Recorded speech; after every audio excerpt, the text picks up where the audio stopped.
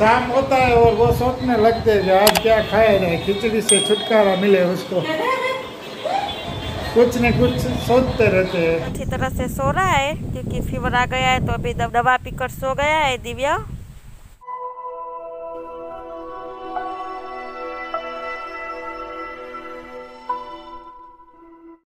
Hello दोस्तों, आप सभी का हमारे यूट्यूब चैनल पर स्वागत है। गुड मॉर्निंग जय स्वामी नारायण कैसे हो आप सभी? आज मैं आ गई हूँ हमारे फार्म पर। कल नहीं आई थी इसलिए तो आज आ गई हूँ। क्योंकि थोड़ा काम था फार्म पर इसलिए। Good morning Jigar good morning जय स्वामीनारायण। कैसे हो? बढ़िया। हाँ जिगर दुकान जा रहे थे तो मेरे को रास्ते में हमारा फार्म हाउस आ रहा है तो वहाँ पर मुझे छोड़कर जा रहे हैं दुकान पे जिगर। चलो, मैं चलता हूँ दुकान और रिद्धि आज का शेड्यूल देखेगी और आपको क्या है आज का व्लॉग में सब कुछ दिखाएगी। अच्छा ठीक है जिगर, अभी जा रहे हैं दुकान पे। अपनी सवार, जिगर की सवारी निकल रही है दुकान पे जाने के लिए। जा रहे हैं जिगर। और दिव्या, जल्दी जल्दी मेरे पहले से ही आ गया है फार्म पर। देखते हैं क्या कर रहा है दिव्या फार्म पर। और दिव्या को बहुत मज़ा आ जाती है। मैं उसको फार्म पर लेकर आती हूँ इसलिए, क्योंकि नेचुरल हवा मिल जाती है दिव्या को, इसलिए। और खुला वातावरण भी मिल जाता है दिव्या को। तो बहुत मज़ा आ जाती है दिव्या को खुले वातावरण में। क्योंकि सारे दिन घर में ही रहते हैं तो दिव्या को मज़ा नहीं आती है, इसलिए अभी मैंने शेड्यूल दिव्या का बदल दिया है, क्योंकि रोज़ फार्म पर लेकर आती हूँ। तो दिव्या को भी मज़ा आ जाए, उसको नया वातावरण भी मिल जाए इसलिए। तो अभी जाके देखते हैं कि दिव्या क्या कर रहा है। दिव्या का अभी नीचे उतरने का इरादा है। दिव्या! दिव्या स्माइल बहुत अच्छी तरह से कर रहा है अभी। यहाँ पर कुत्ते को सुबह का खाना मिल रहा है तो कुत्ते यहाँ पर खा रहे सुबह का खाना। शैलेश भाई दे दे दिया है कुत्ते को सुबह का खाना, खाने के लिए। आज कुत्ते को मिला है सुबह सुबह खाने के लिए छाछ, रोटी और भात। रोज अलग अलग दे रहे हम कुत्ते को खाने। रा, भात तो रोज ही देते हैं, उसके साथ कभी खिचड़ी, कभी रोटली वैसा मिल जाता है खाने में कुत्ते को। हमारे फार्म हाउस में कितने बड़े बड़े नारियल के पेड़ है, देखो। बहुत बड़े बड़े और लंबे लंबे है। बहुत सारी लंबाई है नारियल की। अभी चलो, फार्म के अंदर जा रहे हैं, बगीचे के अंदर। थोड़ा थोड़ा धूप भी निकला हुआ है तो मज़ा आ रही है, धूप निकला है इसलिए। और बारिश जैसा आज वातावरण नहीं है, धूप निकली है इसलिए सुबह सुबह तो बारिश जैसा ही वातावरण था कि आज बारिश आने वाली है ऐसा ही। और आज थोड़ा दिव्य को भी ठीक नहीं है तो भी मैं उसको फार्म पर लेके आई हूँ क्योंकि उसको नेचुरल हवा मिल जाए इसलिए दिव्य को थोड़ा फीवर आ गया है आज। तो लेकिन हॉस्पिटल तो नहीं लेके जाना पड़ेगा दिव्य को। इतना ज़्यादा फीवर नहीं है दिव्या को। जब भी फीवर आ जाता है दिव्या को तो मैं घर पे ही दवा पिला लेती हूँ पैरासीटामोल तो दिव्या को ठीक हो जाता है। तो आज भी मैं सुबह सुबह दिव्या को पैरासीटामोल में दवा पिला पिला ली थी। तो अभी दिव्या फार्म पर आकर सो गया है, थोड़ी देर खेला और आके सो गया दिव्या।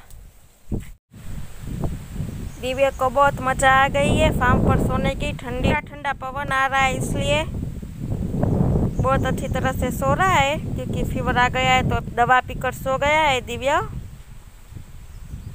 बहुत नींद आ गई है गहरी दिव्या को, और साथ में बहुत ठंडा पवन भी आ रहा है नेचुरल वातावरण का तो बहुत मज़ा, सोने की बहुत मज़ा आ गई है दिव्या को। जो हमने हमारा ड्रैगन फ्रूट अहमदाबाद भेजा था जिस व्यापारी को, उस व्यापारी को हमारा ड्रैगन फ्रूट बहुत अच्छा लग गया है तो फिर से उसका ऑर्डर आया हुआ है आज सुबह सुबह। तो आज या तो कल भेजेंगे उसको हमारा ड्रैगन फ्रूट अहमदाबाद। उसको बहुत हमारा माल पसंद आ गया है ड्रैगन फ्रूट क्योंकि बहुत मिठास वाला और ऑर्गेनिक है, इसलिए बहुत मम्मी शैलेश भाई और पापा कुछ बाहर काम कर रहे हैं। पता नहीं क्या काम कर रहे हैं, बहुत फार्म से बाहर कुछ काम कर रहे तो दिव्या को छोड़कर मैं नहीं जा सकती बाहर। तब फार्म के अंदर आएँगे तभी मम्मी पापा को पूछ लेंगे क्या काम कर रहे थे। दिव्या उठ गया है अच्छी तरह से। है ना दिव्या? किस तरह से बैठा हुआ है घोड़िया में?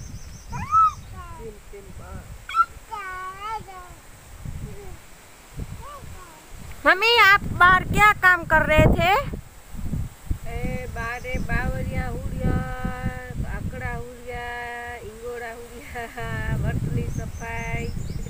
मम्मी बाहर जो सफ़ाई कर रहे थे वो कर रहे थे बाहर सफ़ाई कर रहे थे मम्मी। शैलेश भाई आपने बाहर क्या काम किया? वही जो मम्मी कर रहे अच्छा ठीक है। शाम के बज चुके पौने छः और हम नाश्ता पानी करके हो गए फ्री।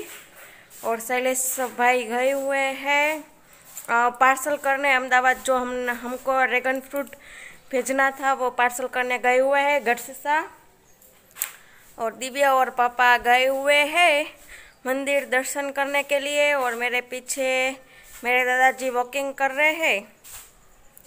और जिगर अभी थोड़ी देर में ही आ जाएँगे दुकान से।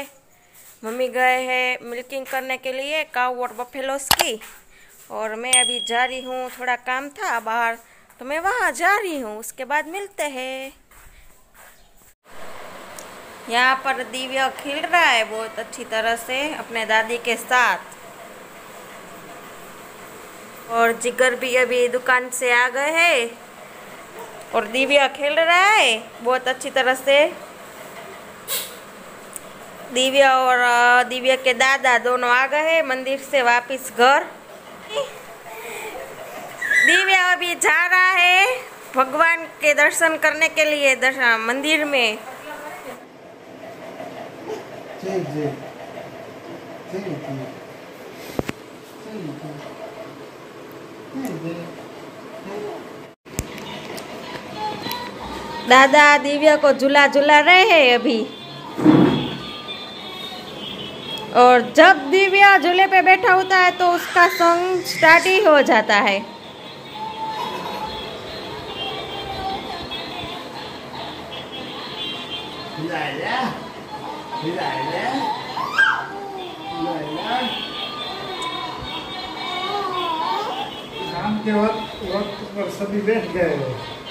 अभी थोड़ी देर में ही खाना खाएँगे रात का।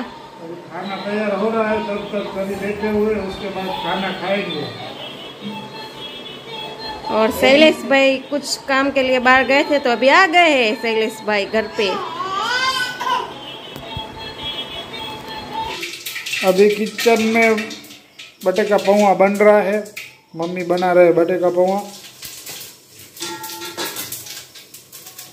आज सभी लोग खाएँगे बटे का पौवा मेरे लिए यहाँ पर साव बना लिया है, क्योंकि मेरा सावन मास है, इसलिए अभी दो दिन बाकी है सावन मास के। मेरे लिए साव बनाया है मम्मी ने।